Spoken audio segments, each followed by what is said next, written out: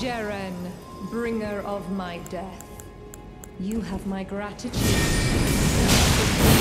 From my shadow.